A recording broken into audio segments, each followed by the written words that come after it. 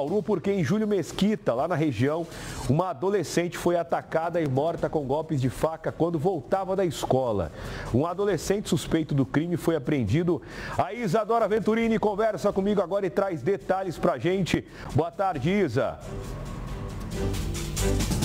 Boa tarde, Fabiano. Boa tarde também para todo mundo que está ligado aí no Brasil e gente. Fabiano, é um caso terrível que aconteceu em uma cidade de pelo menos 4.800 habitantes e é claro que chocou todo mundo é, e choca né, a todos pela, pela violência, é, principalmente porque são dois jovens, né, uma vítima e o suspeito de cometer o crime também é um adolescente de apenas 15 anos de idade. Então esse caso aconteceu ontem à tarde. A adolescente de 14 anos anos, Lídia Daça de Lima, saía da escola após a aula, estava a caminho de casa, que é a dois quarteirões da escola, e quando estava prestes a chegar em casa, é, esse adolescente, o suspeito, teria atacado ela e golpeado ela cinco vezes, principalmente na região do abdômen, de acordo com a Secretaria de Saúde que atendeu a Lídia. É, e logo após ele ter cometido este crime, Fabiano, ele ah, fugiu.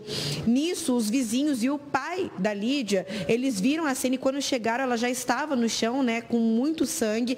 Eles colocaram ela no carro, levaram ela até o hospital, porém, infelizmente, ela não resistiu aos ferimentos e foi a óbito. A polícia foi acionada e alguns minutos depois, horas depois, assim, bem rapidamente, conseguiram localizar o menino um, um, adolescente também de 15 anos que estaria na mata e escondido. E ele estava machucado e com vários resquícios de sangue também pelo corpo e pelas roupas. A polícia também percebeu que ele poderia ter ingerido é, um veneno. Então ele acabou sendo encaminhado também para um hospital e após ali toda uma análise e cuidados necessários, ele foi enviado para a Fundação Casa.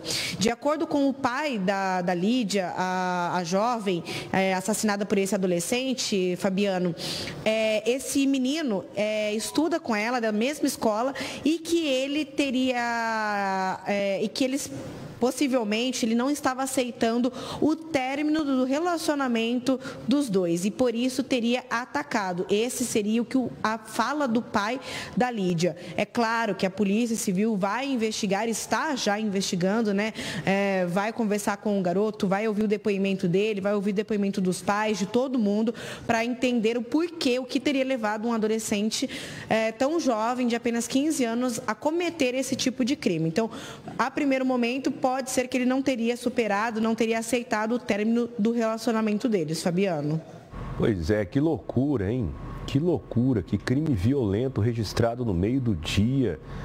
É, a menina estava quase chegando na escola, apenas dois quarteirões separam a escola da casa dela, ou seja, um trecho bem curtinho.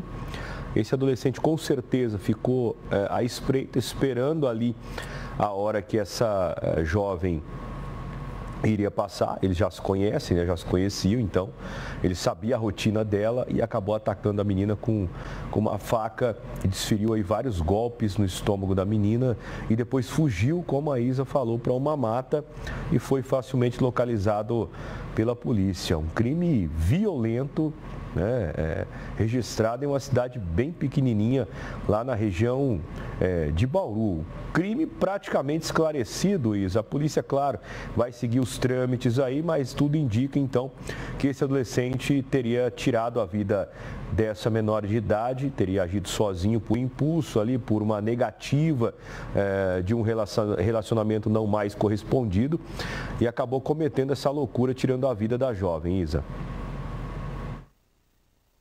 Infelizmente, Fabiano, é triste, né? A gente noticiar algo desse tipo, uma violência sem tamanho. São dois jovens que os dois, né?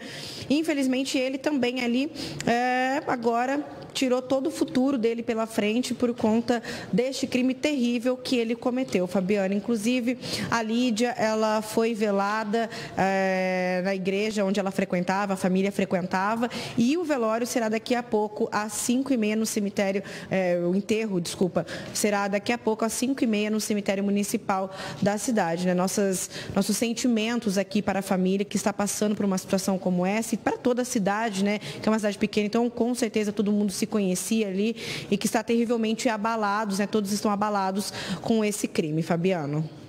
Muito bem, valeu Isa, obrigado pelas informações.